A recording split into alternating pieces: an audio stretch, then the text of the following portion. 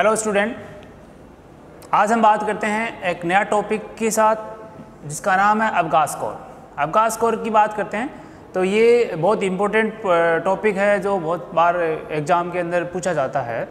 तो हम इसकी यहाँ पे एग्ज़ाम बेस के अकॉर्डिंग बात करते हैं. तो पहले देखते हैं कि अवगाह स्कोर होता क्या देखो, पहले बात करते हैं कि अवगाह स्कोर है, ये वर्ड दिया किसने था? तो ये जो वर्ड था इसको ओरिजिनेट करने वाले थे doctor Virginia Apgar doctor Virginia Apgar के द्वारा एक स्कोर सिस्टम बनाया था। उस स्कोर सिस्टम का नाम था अबगार स्कोर ये डॉक्टर वर्जीनिया अपकार 1952 के अंदर एक स्कोरिंग सिस्टम डेवलप किया था, जिसका नाम क्या था? अबगार स्कोरिंग अब ये जो अबगार स्कोरिंग था इसका एक क्वेश्चन बनता है कि अबगा स्कोरिंग करते किसके लिए हैं? तो हम बोलते हैं अबगा स्कोरिंग पेशेंट की कंडीशन को असेस करने के लिए किया जाता है। तो सेकंड क्वेश्चन इसका ये बनता है कि कंडीशन को असेस करने के लिए कंडीशन ऑफ़ पेशेंट पेशेंट की कंडीशन को असेस करने के लिए हम क्या करवाते हैं? अफगा स्कोरिंग करवाते हैं। ठीक है? नेक्स्ट बात थर्ड बात ये होती है कि अबगा स्कोरिंग करवाते हैं तो कितने पैरामीटर को असेस करवाते हैं। तो जब पैरामीटर की बात आ जाए तो यहाँ पे फाइव ऐसे पैरामीटर होते हैं जिनको इसके अंदर क्या करवाते हैं असेस करवाते हैं। तो फाइव पैरामीटर असेस पाँच पैरामीटर को इसके अंदर असेस करवाते हैं, ठीक है? नेक्स्ट बात, जब आप इसकी बात करेंगे तो ये जो पाँच पैरामीटर्स होते हैं, ठीक है? ये जो अबगारी की स्कोरिंग देते हैं हम तो ये ज़ीरो से तो स्टार्ट करते हैं और दो तक इसका स्कोर रहता है। ठीक है? कहाँ से स्टार्ट करते हैं स्टूडेंट तो ज़ीरो स्कोर से स्टार्ट करते हैं। Zero score to two score zero से टू स्कोर के लिए यूज़ करवाते हैं। अब देखो, ज़ीरो से टू स्कोर की बात करें तो बात यह है कि ज़ीरो स्कोर किसको देते हैं? जहाँ पे बेबी की कंडीशन बहुत ज़्यादा पुअर हो जाती है। ठीक है? जिसके अंदर पर्सन की सीवियर डिस्निया, फिर एक तरह से सीवियर डिस्ट्रेस देखने को मिले। उसके अंदर स्कोर कितना रहेगा? ज़ीरो वाला। और बेबी की कंडीशन बहुत अच्छी है, एक्सीलेंट कंडीशन है तो फिर स्कोर कितना रहेगा? दो। क्योंकि हम जब टेबल बनाएँगे तो आपको बताएँगे कि तीन कैटेगरीज के डिवाइड करेंगे, ज़ीरो, वन, टू। तो ज़ीरो किसको देते हैं जहाँ पे? बिल्कुल ही कुछ रिस्पॉन्स नहीं आते हैं अपसेंट रहते हैं, और टू उसमें देते हैं जहाँ पे सारी कंडीशन है, वो अच्छी हैं। ठीक है, बेबी की कंडीशन बहुत अच्छी है, उसके लिए यूज़ करवाते तो ज़ीरो स्कोर होता है, वो वेरी पुअर के लिए यूज़ करवाते हैं। Very poor condition very poor condition yes और टू स्कोर यूज़ करवाते हैं very excellent very excellent condition very excellent condition के लिए यूज़ करवाते हैं टू स्कोर क्लियर ओके अब देखो, जब हम पाँच पैरामीटर्स की बात की थी कि अबका स्कोरिंग के अंदर कितने स्कोरिंग का बात करते हैं हम तो पाँच पैरामीटर्स वो पाँच पैरामीटर कौन कौन से हैं? तो यहाँ पे हम वो भी देखते हैं। अब देखो, पाँच पैरामीटर्स को हम इतना इजी तरीके से आपको बताया है ताकि एग्ज़ाम के अंदर ऐसा पूछा जाए कि एक बेबी का अबगा स्कोरिंग के अंदर सबसे पहले कौन से पैरामीटर को असेस करते हैं स्टूडेंट तो हम बताएँगे, सबसे पहले, जैसे हमने इस अबगार के अकॉर्डिंग पढ़ेंगे तो ए फोर अपेरेंस आता है। ए फोर अपेरेंस लेकिन अपेरेंस को पहले यूज़ नहीं करवाते, ठीक है? अपेरेंस को पहले स्कोर नहीं देते हैं। तो आपको इसको इजी तरीके से याद रखने के लिए हमने इसको बना दिया प्रागा क्या बना दिया? प्राग इस सीक्वेंस में पर्सन को शेष करके स्कोर देना है तो सबसे पहले आएगा, वो आएगा पल्स पल्स रेट ठीक है, दूसरा आएगा R four respiratory respiratory effort not rate effort respiratory effort next A four activity A four activity muscles tone muscles की tone activity okay next G four grimace या रिफ्लेक्स ग्राइमेस या reflex yes और A four होता है, अब आएगा appearance appearance अच्छा appearance को स्किन कलर बोलते हैं भाई। स्किन के कलर को ही तो अपियर कर रहे हैं। स्किन कलर स्किन कलर तो ये पाँचों पैरामीटर्स हैं। ये पाँचों पैरामीटर हम अबगा स्कोरिंग में चेक करते हैं और इस सीक्वेंस में चेक करते हैं। यह भी आपको याद रखना है प्रागा तो P for pulse R for respiration A for activity G for grimace A for appearance clear okay table की बात करते हैं जिसके बारे में काफ़ी क्वेश्चन आए हुए हैं। तो यहाँ पे देखो दो क्वेश्चन बनते हैं। यहाँ पे रेट नहीं आती है। क्या आता है? एफर्ट आते हैं। सबसे पहले किसको चेक करते हैं? पल्स को चेक करते हैं। क्लियर ओके अब देखो टेबल की बात करें, हम स्कोरिंग दे रहे हैं। तो हम टेबल को तीन कैटेगरीज में डिवाइड करते हैं स्टूडेंट पहला आता है, इसके फीचर्स क्या हैं? भाई क्या क्या इन्वॉल्व करेंगे हम? तो फीचर्स हो गए। ठीक है। दूसरी हम बात करेंगे यहाँ पे वो बात करेंगे, ज़ीरो स्कोर। ठीक है। तीसरी बात करेंगे, वन स्कोर। वन स्कोर और फोर्थ वन है टू स्कोर। इस प्रकार से हम स्कोरिंग देंगे इसको। ठीक है, बहुत इजी है। इजीली समझ में आएगा। थोड़ा सा कंसंट्रेशन रखना इधर। देखो। ठीक है। पहला फीचर्स की बात करें तो सबसे पहले हम कौन सा पैरामीटर्स यूज़ करवा रहे थे? तो सबसे पहले पैरामीटर यूज़ था पल्स रेट यानी हार्ट रेट भी बोलते हैं ना इसको?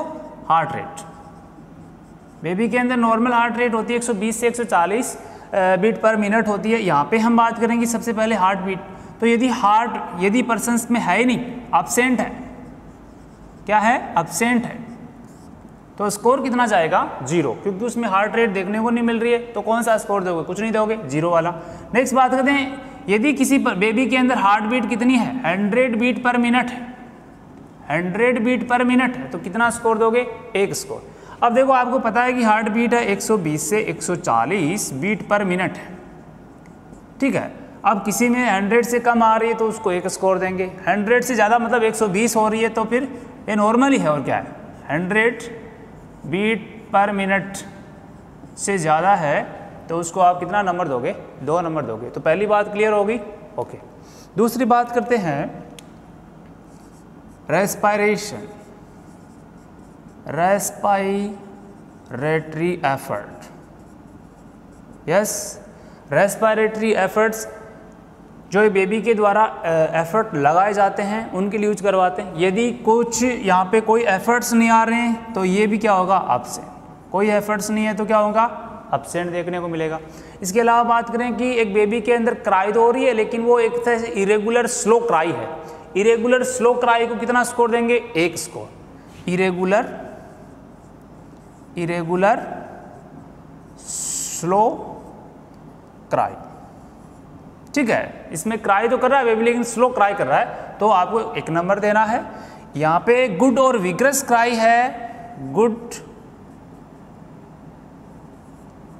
विग्रस क्राई है।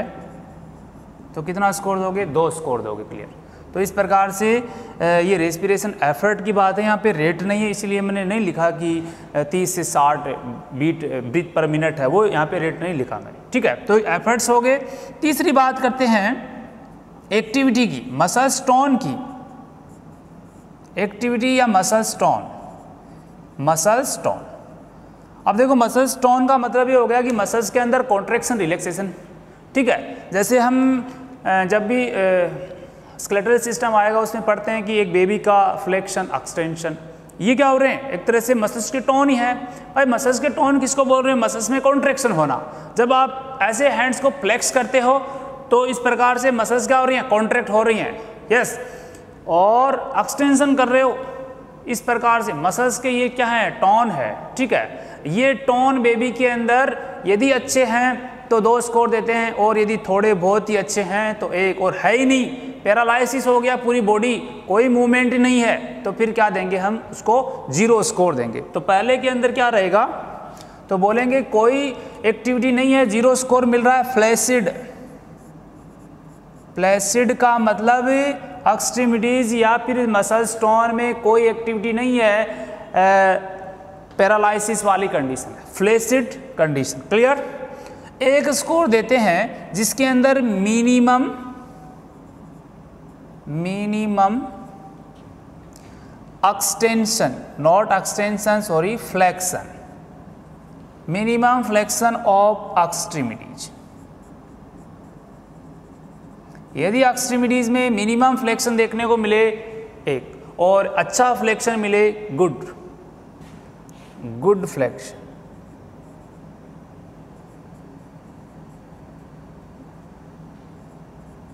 of extremity यदि एक्सट्रीमिटीज में अच्छा फ्लेक्शन मिले तो क्या बोलेंगे उसको? गुड वाली कंडीशन और गुड वाली कंडीशन में हम कितना स्कोर देते हैं? टू स्कोर तो तीन पैरामीटर यहाँ पे कंप्लीट हो गए? यस ओके चौथा पैरामीटर की बात करते हैं, क्या है? प्रागा के अंदर देखा था जी तो यहाँ पे जी क्या है?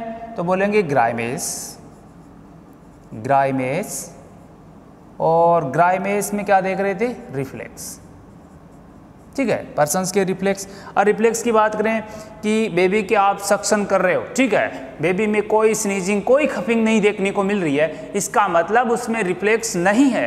और रिफ्लेक्स नहीं है, इसका मतलब स्कोर कितना है? ज़ीरो स्कोर है। तो no response zero score no response zero score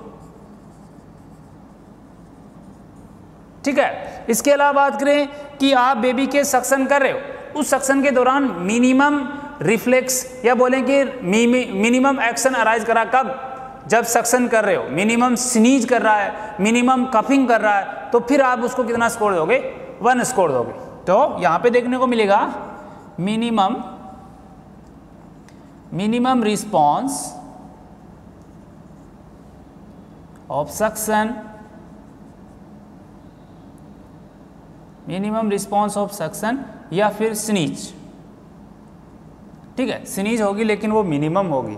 तो फिर कितना स्कोर जाएगा उसको? एक। यहाँ पे बात करें कि एक तरह से वेल रिस्पॉन्स है बेबी के अंदर खपिंग भी बहुत अच्छी है तो उसको स्कोर कितना जाएगा? दो स्कोर तो यहाँ पे वेल रिस्पॉन्स और बोले तो सक्शन के अगेंस्ट खपिंग हो रही है। खपिंग खपिंग किसके अगेंस्ट हो रही है? जब बेबी में सक्शन कर रहे हैं उस सक्शन के दौरान बेबी में खफिंग देखने को मिल रही है, बहुत अच्छी तरह से देखने को मिल रही है तो फिर उसको कितना स्कोर देंगे हम? दो स्कोर देंगे। स्नीजिंग होती है बेबी में सक्शन के दौरान, लेकिन बहुत कम होती है, एक स्कोर देंगे। बेबी के अंदर कोई रिस्पॉन्स नहीं आता तो फिर स्कोर कितना देंगे? ज़ीरो स्कोर देंगे। क्लियर तो ये बातें तो चार पैरामीटर्स की हमने कंप्लीट कर ली, और एक पैरामीटर और बच गया, जिसका नाम क्या है? अपेरेंस भाई अपेरेंस देख रहे हैं तो क्या देख रहे हैं? वहाँ पे बेबी का बॉडी का या स्किन का कलर देख रहे हैं। ठीक है तो फिफ्थ पैरामीटर कौन सा हो गया? अपियरेंस यस स्टूडेंट अपियरेंस की बात करें तो अपियरेंस के अंदर यदि पूरी बॉडी क्या हो जाए? पूरी बॉडी ब्लू हो जाए, या कोई कलर अराइज नहीं करा, पूरी बॉडी ब्लूइश हो रही है तो कितना स्कोर देंगे? तो हम बोलेंगे zero score whole body whole body colour कैसा बोलेंगे ब्लूइस यस तो हम ब्लूइस कलर बोल रहे हैं, इसका मतलब पूरी बॉडी के अंदर ही क्या हो रहा है? अब नॉर्मलिटी साइनोसिस हो रहा है तो ज़ीरो स्कोर जाएगा। ठीक है, एक स्कोर का बोलते हैं, जब ट्रंक वाला पार्ट ट्रंक क्या हो? पिंक हो। ट्रंक पिंक हो एक्सट्रीमिटीज क्या हो? तो हम बोलेंगे एक्सट्रीमिटीज यस ब्लू हो। ठीक है? ट्रंक वाला पिंक हो, यानी कि सेंटर वाला पार्ट पिंक हो, लेकिन एक्सट्रीमिटीज वाला पार्ट क्या हो? ब्लू हो। तो उसको कितना स्कोर देंगे? एक स्कोर एक्सट्रीमिटीज ब्लू होती है उसके लिए एक्रोसाइनोसिस पूरी बॉडी ब्लू हो जाती है उसके लिए। पूरा साइनो मतलब बॉडी साइनोसिस हो रही है। और स्पेशली एक्सट्रीमिटीज है तो उसके लिए एक्रोसाइनोसिस क्लियर तो यहाँ पे एक्रोसाइनोसिस को आप एक नंबर देते हो। नेक्स्ट बात करते हैं, दो नंबर किसको देते हैं? होल बॉडी क्या हो जाए? पिंक हो जाए। Whole body pink pinkish colour pink colour body है, इसका मतलब बेबी के अंदर बॉडी के अंदर ऑक्सीजन है, वो प्रॉपर रूप से ट्रांसपोर्ट हो रही है तो बॉडी का कलर क्या मिलेगा आपको? पिंक मिलेगा। तो इस प्रकार से कई बार क्वेश्चन पूछते हैं कि एक बेबी है, वो ल्यूसिड या विग्रस क्राई कर रहा है, ठीक है? उसके अंदर स्लो रिस्पॉन्स देखने को मिले इस प्रकार से ये कैसे भी क्वेश्चन बना देता है कि एक्सट्रीमिटीज के अंदर क्या था? वहाँ पे कोई रिस्पॉन्स या एक्टिविटी की बात करेंगे फ्लेसिड एक्सट्रीमिटीज थी, लेकिन विग्रस क्राई देखने को मिल रहा था। तो कितना स्कोर जाएगा? तो फिर हम इसके अकॉर्डिंग स्कोर काउंट करेंगे कि फ्लेसिड में ज़ीरो था, लेकिन विग्रस क्राई में क्या था? दो स्कोर था। ठीक है? तो इस प्रकार से कैसे भी क्वेश्चन बन जाएँगे, हमारे कॉन्सेप्ट यहाँ पे क्लियर होने चाहिए। क्लियर स्टूडेंट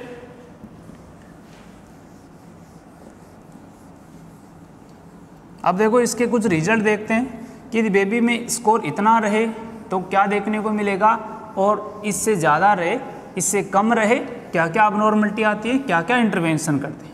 तो ये चीज़ें भी इसी में देखते हैं हम। देखते हैं रिज़ल्ट अब का स्कोरिंग का रिज़ल्ट देखो रिज़ल्ट की बात करें, यदि किसी पर्सन के अंदर स्कोर सेवन टू टेन हो, अब का स्कोर का स्कोर कितना हो? सेवन टू टेन हो, इसका मतलब यहाँ पे कोई डिस्ट्रेस वगैरह नहीं है, ठीक है? नो डिस्ट्रेस नो डिस्ट्रेस और यदि दस से थोड़ा कम हो जाए तो माइल्ड डिस्ट्रेस भी देखने को मिल सकता है। माइल्ड डिस्ट्रेस ठीक है? ये कंडीशन हो सकती है।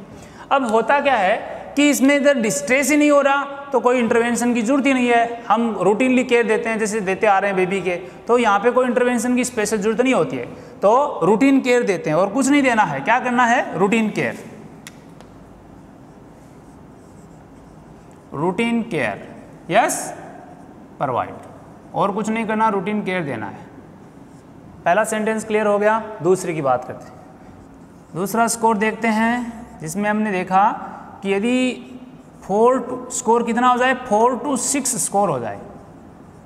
तो अब की बार आपका पैरामीटर है, वो प्रॉपर रूप से फ़ंक्शन नहीं कर रहे हैं। तो यहाँ पे स्कोर कम हो जाएगा, इसका मतलब मॉडरेट मॉडरेट डिस्ट्रेस। यानी अब की बार बेबी में डिस्ट्रेस हुआ है लेकिन कैसा हुआ है? मॉडरेट हुआ। है अब मॉडरेट डिस्ट्रेस हुआ था, उसका इंटरवेंशन क्या करेंगे? तो हम बोलेंगे उसका इंटरवेंशन करेंगे। सबसे पहले बेबी को सांस नहीं आ रहा है इजीली तरह से तो उसको फिर हम क्या करेंगे? सक्सन करेंगे। तो सबसे पहला इंटरवेंशन सक्सन एयरवे को क्या कर दिया? क्लीन कर दिया। पहला सक्सनिंग कर दिया। अब सक्सनिंग करने के बाद में स्टिमुलेशन करते हैं। स्टिमुलेशन करने से क्या होता है? वापस फ़ंक्शन रिस्टोर होने के चांस रहते हैं। ठीक है तो सक्सन कर दिया एयरवे क्लियर हो गई। फिर क्या करेंगे बेबी को स्टिमुलेट करेंगे। तो दूसरा काम स्टिमुलेशन स्टिमुलेशन बेबी को स्टिमुलेट किया, लेकिन फिर भी कोई रिस्पांस नहीं दिया। आपने स्टिमुलेट भी कर दिया, फिर भी कोई रिस्पांस नहीं दे दिया। तो फिर क्या करेंगे, हम पोजीशन देंगे। ऐसी पोजीशन देंगे कि बेबी की जो ट्रेकिया वो क्या हो जाए, सीधी हो जाए स्ट्रेट हो जाए। तो बेबी की ट्रेकिया को सीधी करने के लिए कौन सी पोजीशन तो हम बोलेंगे स्नेफिंग पोजिशन कौन सी पोजिशन देना? बेबी को पोजिशन देना है ये लो पोजीशन दिया और कौन सी पोजीशन दिया? Sniffing position yes student sniffing position देने से होगा क्या? ट्रेकिया स्ट्रेट भाई स्नीपिंग पोजीशन बोलते किसको है? जिसके अंदर, जैसे ये हमारी जो हेड है ठीक है? इस हेड का ये क्या है? एक्सटेंशन हो रहा है। इसको पीछे की तरफ़ ले जाएँगे तो हाइपर एक्सटेंशन लेकिन यहाँ पे स्लाइडली एक्सटेंशन कर रहे हैं। मतलब हाइपर हो गया तो रोज पोजीशन हो जाती है और स्लाइडली कर दिया तो this is the sniffing position तो स्लाइडली एक्सटेंशन ऑफ़ हेड क्या बोलेंगे? Sniffing position slightly extension extension of head ठीक है, इसी को बोला जाता है स्नीपिंग पोजीशन चलो स्नीपिंग पोजीशन से भी फिर पर्सन की रिकवरी नहीं हुई, उसके अंदर कोई चेंजेस नहीं देखने को मिला तो लास्ट में फिर O2 एडमिनिस्ट्रेट करवाना, और यहाँ पे O2 देना है, वो कौन से? मेथड से देना है तो हम बोलेंगे O2 वुड आते हैं.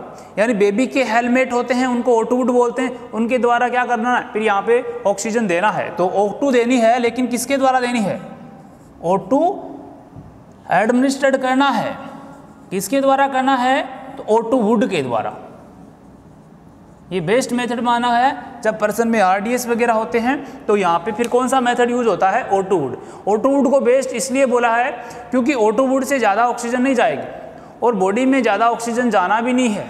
क्योंकि ज़्यादा ऑक्सीजन जाएगी, उसका यूटिलाइजेशन नहीं होगा, उसका टॉक्सिसिटी आ जाएगी बेबी में। तो बेबी में जो टॉक्सिसिटी उठी सबसे पहले रिट्रोलेंटल फाइब्रोप्लेसिया ये कंडीशन हम आगे पढ़ेंगे, जब आरडीएस पढ़ेंगे डिटेल के अंदर, तब आप इसको बात करेंगे। क्लियर तो ये मॉडरेट वाली कंडीशन है, जो स्कोर कितना रहा? फोर टू सिक्स वाला स्कोर अब हम थर्ड स्कोर की बात करते हैं, जिसके अंदर स्कोरिंग बहुत कम हो जाती है, यानी कि ज़ीरो ही हो जाती है। यदि स्कोरिंग ज़ीरो टू थ्री वाली हो ज़ीरो टू थ्री स्कोर जो ज़ीरो टू थ्री स्कोर है, इसका मतलब कंडीशन बहुत ज़्यादा सीवियर है। सीवियर कंडीशन है severe distress severe distress clear जब पर्सन में डिस्ट्रेस क्या हो जाता है? सीवियर हो जाता है। तो सीवियर डिस्ट्रेस हो जाता है तो यहाँ पे ऑक्सीजन की, अब यहाँ पे रोली ख़त्म हो गए ठीक है? अब यहाँ पे इमीडिएटली आपको क्या करना है? रिसक्सीटेशन करवाना है। मतलब फ़ंक्शन बिल्कुल कम है। ज़ीरो का मतलब क्या हो गया कि हार्ट रेट नहीं है। रेस्पिरेशन एफर्ट्स बिल्कुल नहीं है। बॉडी के अंदर टोन चले गए। इसके अलावा पर्सन का अपियरेंस पूरा ब्लूइश हो रहा है। ठीक है? ये सारी कंडीशन आ रही है। इसका मतलब सीवियर कंडीशन और सीवियर कंडीशन का ट्रीटमेंट क्या होता है? तो हम बोलेंगे immediate immediate resuscitation immediate resuscitation immediate resuscitation करते हैं और इमीडिएट रिसक्सीटेशन करने से फ़ंक्शन रिस्टोर करना है रिस्टोर हो जाएँगे। ठीक है? तो अब ये हमारी एक लास्ट एक तरह से ऑप्शन है जिसके अंदर हम देखते हैं कि भी यदि कुछ फ़ंक्शन रिस्टोर कर सकता है तो हम इमीडिएटली क्या कर देते हैं? रिसक्सीटेशन तो इमीडिएट रिसक्सीटेशन करते हैं। मतलब एक तरह से सीपीआर ही हो गया। और आप सीपीआर दे किसको रहे हो? एक न्यू बॉर्न को दे रहे हो। तो जब न्यू बॉर्न की बात आती है और सीपीआर की बात न्यू बॉर्न न्यू बॉर्न के अंदर सीपीआर देना है। ठीक है? अब जब आप न्यू बॉर्न में सीपीआर दोगे तो देखो, तरीका क्या होता है? सीपीआर देने का। आपको पता है कि आप जिस वार्ड के अंदर केयर दे रहे हो, उसमें एक ही पर्सन हो आप। कोई और आपको सपोर्ट करने वाला नहीं है। आप बचाने वाले क्या हो? एक ही हो। जब बचाने वाला एक होता है तो फिर न्यूबॉर्न के अंदर न्यूबॉर्न के अंदर सीपीआर देते हैं तो पहले तो देखो, दो फिंगर से देना है। किसे देना है? दो फिंगर से देना है। अब देखो फिंगर को रखना कहाँ है? तो बोलेंगे, भाई हमको तो ये बताया नहीं कि फिंगर को रखना कहाँ है। तो देखो फिंगर को रखना है यह आपका स्टनम है डायग्राम से देख लेते हैं। ये आपका स्टनम है, ठीक है, जिसको ब्रेस्ट बोन भी बोलते हैं। इस स्टनम का बीच में से काट किया तो आधा हुआ नहीं हुआ? मतलब हाफ़ हो गया। अब इस हाफ़ का भी हाफ़ करेंगे तो कितना हो जाएगा? वन थर्ड हो जाएगा। वाघ नहीं हुआ वन थर्ड भाई, इसका हाफ़ किया तो हाफ़ हाफ़ और इस हाफ़ का भी हाफ़ किया तो क्या हो गया? वन थर्ड तो देखो ये क्वेश्चन पूछा गया है। क्वेश्चन क्या था कि आपको सीपीआर देनी है तो सीपीआर देते हैं तो स्टर्नम की कौन सी साइड के ऊपर आप ये जो प्लेसमेंट कर रहे हैं, ये कौन सी साइड पे करेंगे? तो वहाँ पे आपके ऑप्शन था वन थर्ड या फिर एक तरह से one one third of the sternum या half one half of the sternum half से भी हाफ़ हो गया। वो इसका मोस्ट कॉमन साइड होती है, जहाँ पे हमने क्या किया? फिंगर्स को प्रेस इस प्रकार से फिंगर को क्या किया? कंप्रेस फिंगर से हमने कंप्रेस किया। तो देखो, पहला यही हो गया कि सीपीआर देना बेबी को तो वन रेसी क्यू हो?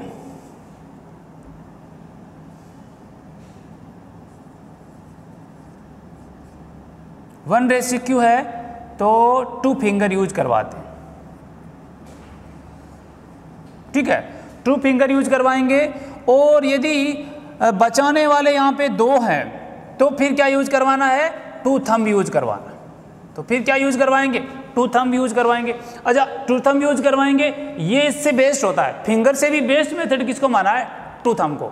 अब टू थम में क्या करते हैं? जैसे ये वाला बेबी है, इसको पकड़ के क्या करेंगे? दोनों थम से हम क्या करेंगे? कहाँ से दबा रहे हैं आप? ये स्टनम है, इस स्टनम के वन थर्ड पार्ट की क्या करेंगे? कंप्रेस करेंगे। अब कंप्रेस कितना करना है? तो कंप्रेस की बात करते हैं, जब न्यू बोर्न की बात आ जाती है या इन्फेंट की बात आ जाती है तो डेढ़ इंच तक ही कंप्रेस करना, ज़्यादा नहीं करना तो रिप्स टूट जाएँगी। तो डेढ़ इंच तक क्या करना है हमको? कंप्रेस करना है। डेढ़ इंच तक कंप्रेस करेंगे और ये कंप्रेशन का रेशियो कितना रहेगा? जब कंप्रेशन कर रहे हैं बेबी के अंदर एक रेशियो के वाले तो फिर उसका कंप्रेशन यहाँ पे कितना रहेगा? तो बोलेंगे thirty ratio two thirty ratio two कब रहता है? जब बचाने वाला एक होता है, जब बचाने वाले दो हो जाते हैं तो यहाँ पे रेशियो चेंज हो जाता है। कितना हो जाता है? यहाँ पे पंद्रह रेशियो दो हो जाता है। तो ये क्वेश्चन आपको बार बार पूछ सकते हैं, या पूछा हुआ भी क्वेश्चन है कि यदि बचाने वाला एक है और वो इन्फेंट है तो फिर वहाँ पे रेशियो कितना रहेगा? कंप्रेशन और वेंटिलेशन का। और ये जो कंप्रेशन है, ये थर्टी है वेंटिलेशन कितने यहाँ पे टू है। ठीक है? तो यहाँ पे बचाने वाला एक होगा तो थर्टी रेशियो टू होगा और बचाने वाले दो होंगे तो फिफ्टी रेशियो टू होगा, ठीक है? और कंप्रेशन करना है चेस्ट को तो कितना कंप्रेस करेंगे? तो डेढ़ इंच अच्छा डेढ़ इंच का मतलब यहाँ पे चार सेंटीमीटर भी बोल सकते हैं बात एक ही है ठीक है? तो ये चार सेंटीमीटर या फिर डेढ़ इंच इतना इसको कंप्रेशन करना। कर दिया। अब जैसे कंप्रेशन करते हैं, उसके बाद में हम क्या करते हैं? पल्स को भी चेक करते हैं। भाई टाइम टाइम पे पल्स चेक करना है कि हार्ट है वो, उसके फ़ंक्शन वापस रिस्टोर हुए कि नहीं हुए। तो जब बेबी की बात करते हैं इन्फेंट की बात करते हैं तो वहाँ पे फिर पल्स की साइड मोस्ट कॉमन कौन सी हो जाती है? तो देखो स्टार्टिंग जो न्यू बोर्न होता है, उसमें हम ब्रेकियल पल्स लेते हैं।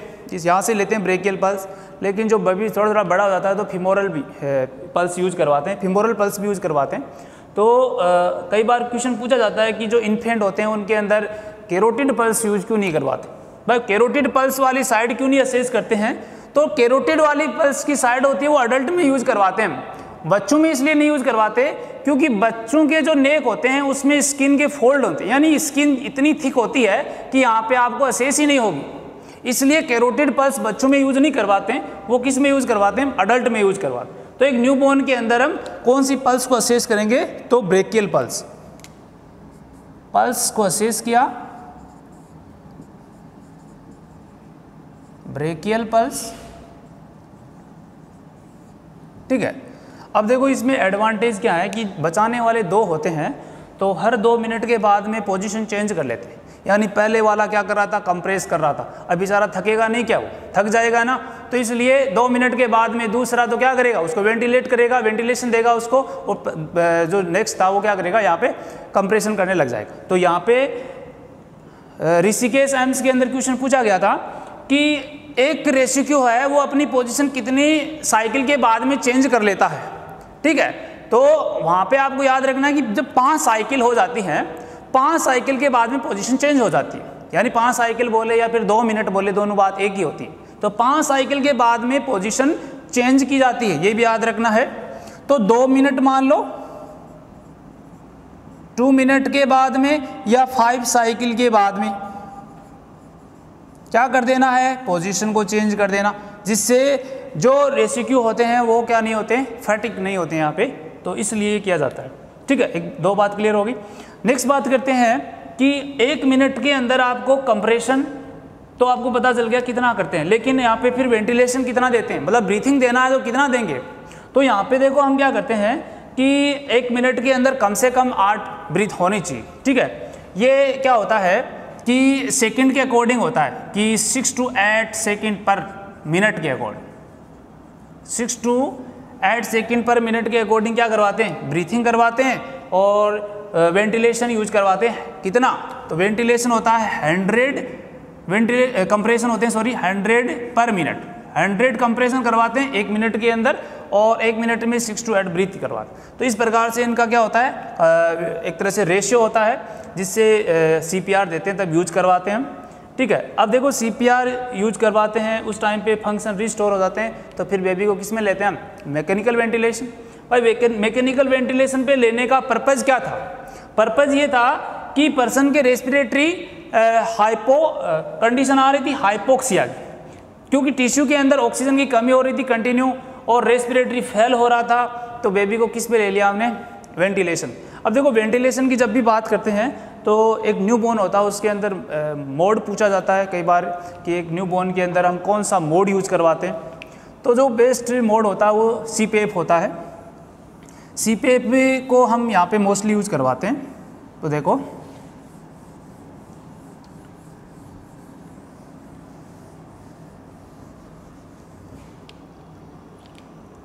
देखते हैं सीपीएफ की फुल फॉर्म क्या है।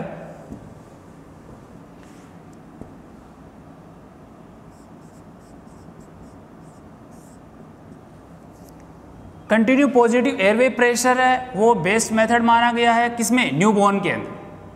कंटिन्यू पॉजिटिव एयरवे प्रेशर क्या होता है कि पहले हम क्या करते थे, पहले वेंटिलेशन में हम नेगेटिव प्रेशर भी यूज़ करवाते थे, ठीक है? लेकिन आजकल वो नेगेटिव प्रेशर बंद कर दिया, क्योंकि उससे ज़्यादा रिस्क रहते हैं डेथ होने के, क्योंकि रिकवरी तो होगी नहीं और उसके चक्कर में पर्सन की डेथ हो जाएगी। तो नेगेटिव प्रेशर आजकल यूज़ नहीं करते हैं। आजकल कौन से प्रेशर यूज़ करते हैं? सारे पॉजिटिव प्रेशर ही होते हैं। तो positive continue positive airway pressure है। ये मोड का नाम है वेंटिलेशन के मोड होते हैं। जैसे चार मोड हमने पहले आगे पढ़ेंगे हम। वेंटिलेशन के अंदर कि जैसे S I M V mode होता है।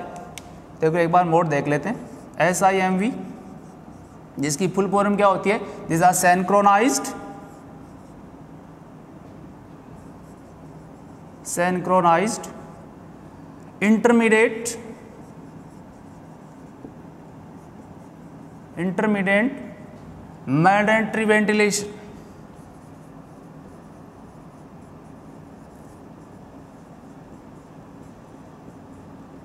ठीक है? इसमें सिंक्रोनाइज का मतलब होता है, एक तरह से स्पॉन्टेनियस यूज़ होती है।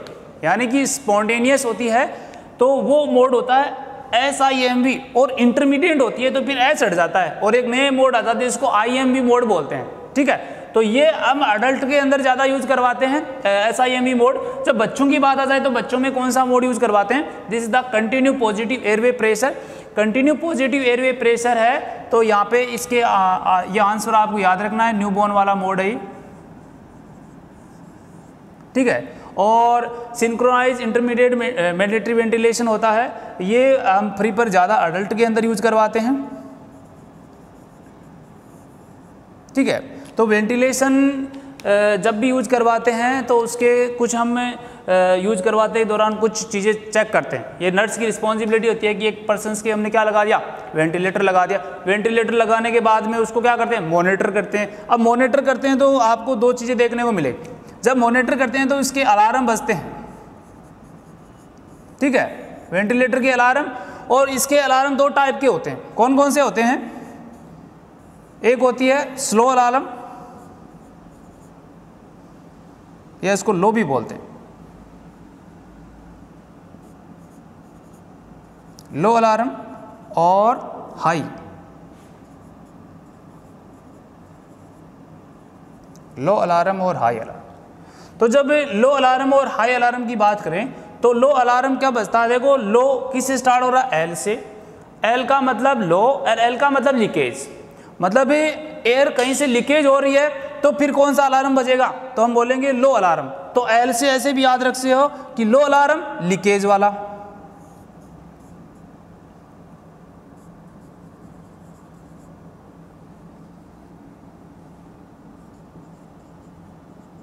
लीकेज। या कई बार क्या होता है कि ट्यूब वगैरह रप्चर हो जाती है लीक हो जाती है तो फिर वहाँ से हवा निकलती रहती है और उस टाइम पे जो अलार्म है, वो प्रोड्यूस होता है, उसको लो अलार्म बोलते हैं। तो रप्चर होने के कारण या फिर एक तरह से लीकेज होने के कारण जो अलार्म देखने को मिलते हैं, वो कौन से अलार्म होते हैं? वो लो वाले अलार्म ठीक है? ऐसे याद रख सकते हैं। हाई अलार्म क्या होते हैं? ऐसे अलार्म जिसमें देखो यहाँ पे तो देखो एयर निकल रही थी, इसलिए थोड़ी बहुत तो जा रही थी ना। थोड़ी बहुत ही बाहर निकल रही थी तो, लो वाले। यहाँ पे एयर बिल्कुल ही बंद हो गई कि कई बार क्या होता है कि ब्रोंकस होते हैं वो बिल्कुल ही बंद हो जाते हैं उसमें स्पाज्म आ जाता है। या फिर ट्यूब के अंदर ऐसा ऑब्स्ट्रक्शन आ गया कि अब एयर जा ही नहीं रही। तो ऑब्स्ट्रक्शन हो जाना या फिर ब्रोंकियोस्पाज्म हो जाना उसमें जो साउंड प्रोड्यूस होते हैं या अलार्म होते हैं वो कौन से होते हैं? हाई अलार्म देखने को मिलते हैं। तो ये आपको याद रखना है कि हाई अलार्म किसमें देखने को मिलते हैं? ऑब्स्ट्रक्शन में। ऑब्स्ट्रक्शन के अंदर, इसके अलावा ब्रोंकियोस्पाज्म ब्रोंकियोस्पाज्म ठीक है स्टूडेंट तो याद रखना कि जो पर्सनस होते हैं, उनके अंदर लो अलार्म किसमें देखने को मिलता है और हाई अलार्म किसमें देखने को मिलता है, जब हम वेंटिलेशन का यूज़ करवाते हैं। ठीक है? अब देखो क्या होता है कि पर्सन के आपने वेंटिलेशन लगा दिया, आ, यहाँ पे वेंटिलेशन के दौरान जो वेंटिलेटर आप यूज़ कर रहे हैं, वो वेंटिलेटर का एक मोड आप सात दिन से ज़्यादा यूज़ नहीं कर सकते। आप सात दिन से ज़्यादा एक ही मोड को यूज़ करोगे तो उसके अंदर एक रजिस्टेंस आ जाएगा। बॉडी में क्या आ जाएगा? सेम रजिस्टेंस आ जाएगा, फिर बॉडी मानेगी नहीं। क्योंकि बॉडी के अंदर वही एक्टिविटी सेम हो रही है पिछले सात दिन से तो वहाँ पे फिर एक अलग ही अब नॉर्मलिटी आती है।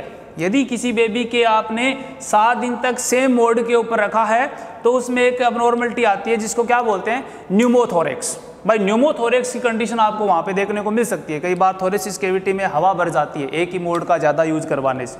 ठीक है? और एक चीज़ और होती है कि ज़्यादा मोड यूज़ करवाने से लंबे टाइम तक इन्फेक्शन भी होते हैं। जिनको कौन से इन्फेक्शन बोलते हैं? वेंटिलेटर एसोसिएटेड न्यूमोनिया क्या नाम होता है उसका? वेंटिलेटर एसोसिएटेड न्यूमोनिया इसका क्वेश्चन बना हुआ है तो इसका क्वेश्चन भी देखते हैं हम।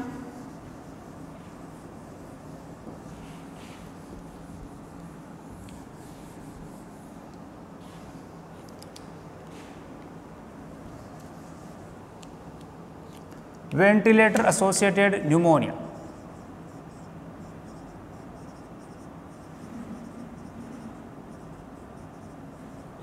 Ventilator associated pneumonia, यानी ऐसा इन्फेक्शन जो वेंटिलेटर के जो पार्ट्स थे, जैसे ट्यूब वगैरह थी, उनसे स्प्रेड हो गया।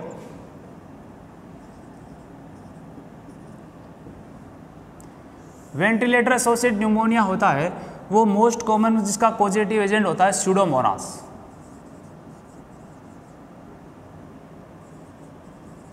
ये स्यूडोमोनास बैक्टीरियल इन्फेक्शन जो डेवलप करता है वेंटिलेटर एसोसिएटेड न्यूमोनिया अच्छा इसकी हम पहले भी बात की थी, कहाँ पे किया था? इसकी हमने पहले बात की थी एक्सटर्नल ओटाइटिस मीडिया होता है। एक्सटर्नल सॉरी एक्सटर्नल ओटाइटिस होता है, उसका भी पॉजिटिव एजेंट क्या था? यही था सूडोमोनास था। इसके अलावा जो पर्सन जल जाते हैं बर्न हो जाता है तो बर्न वाले पर्सन में सेप्सिस होता है वो सेप्सिस भी किसके कारण होता है? सूडोमोनास के कारण होता है। तो ये तीनों के अंदर आपको सिमिलरिटी देखने को मिलेगी कि वेंटिलेटर एसोसिएटेड न्यूमोनिया किसके कारण? तो बोलेंगे सूडोमोनास के कारण। इसके अलावा बर्न में जो सेप्सिस होता है, वो भी किसके कारण? तो बोलेंगे सूडोमोनास के कारण। एक्सटर्नल ओटाइटिस होता है, वो भी किसके कारण मोस्टली तो बोलेंगे सूडोमोनास ये तीनों इन्फेक्शन सेम होते हैं। तो आपको एक बात और बता देते हैं कि बर्न सेप्सिस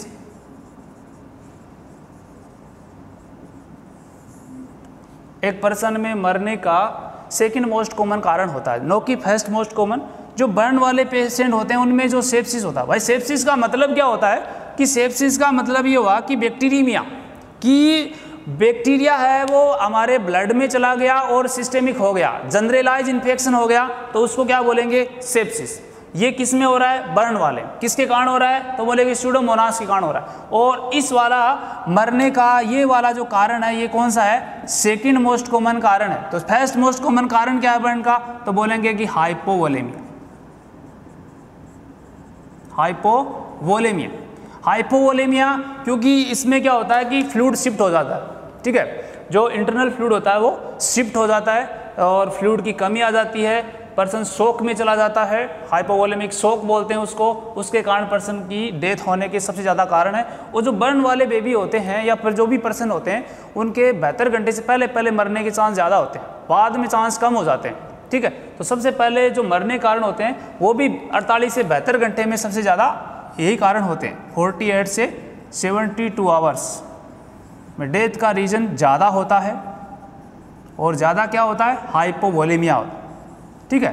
तो ये भी कई बार आपको क्वेश्चन पूछ लेते हैं। तो ये भी आपको यहाँ पे क्लियर हो जानी चाहिए।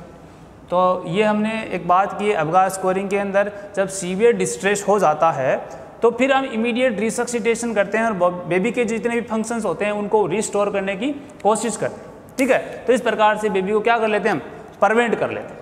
अब देखो, जब भी सीपीआर देते हैं तो कई बार हम ड्रग्स यूज़ करवाते हैं। कौन सी ड्रग्स यूज़ करवाते हैं यहाँ पे? एड्रेनलिन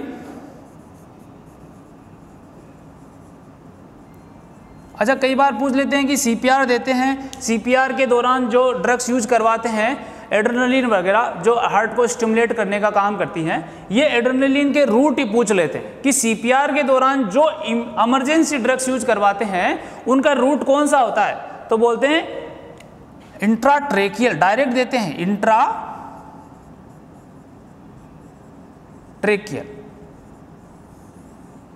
इंट्राट्रेकियल एट्रोपिन वगैरह, एड्रनलिन वगैरह, ये सारी इमरजेंसी ड्रग होती है। इसके अलावा ड्रग्स होती है नैलेक्सोन ये भी एक तरह से ड्रग्स है इमरजेंसी ड्रग्स है। तो एड्रनलिन, एट्रोपिन नैलेक्सोन ये सारी इमरजेंसी ड्रग होती है, जो किस, कौन से रूट से देते हैं? इंट्राट्रेकियल बेबी के डायरेक्ट ट्रेकिया से देते हैं। अच्छा देखो क्या होता है कि इसके अंदर आईवी भी दे सकते हैं, लेकिन आईवी से भी ज़्यादा या फास्ट एक्शन करेगी कौन सी? इंट्रा ट्रेकियल क्योंकि आप ट्रेकिया में दे रहे हो तो डायरेक्ट किधर जाएगा? लंग्स में। अब ज़्यादा ब्लड है, वो ऑक्सीजन लेने भी लंग्स में आ रहा है तो डायरेक्ट एक्शन होगी हार्ट के ऊपर, और डायरेक्ट एक्शन होगी तो रिस्टोर के होने के ज़्यादा इसके अंदर चांस देखने को मिलते ठीक है? तो इसके, यहाँ पे हमने बात किया है। आपका स्कोरिंग की। Clear student I think